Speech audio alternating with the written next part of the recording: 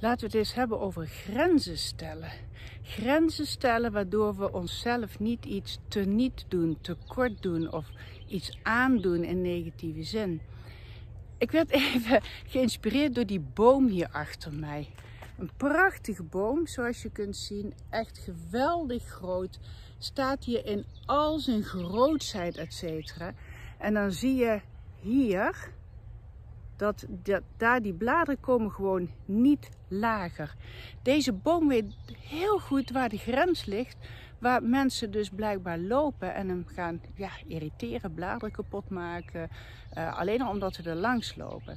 Bomen weten precies hun grenzen. Dieren weten over het algemeen precies hun grenzen. Maar wat doen wij als mens? Wij laten zoveel over onze grenzen heen gaan. En waarom?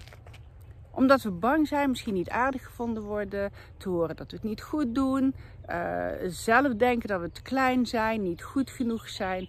Nou, er zijn zoveel redenen voor en er zitten zoveel overtuigingen onder.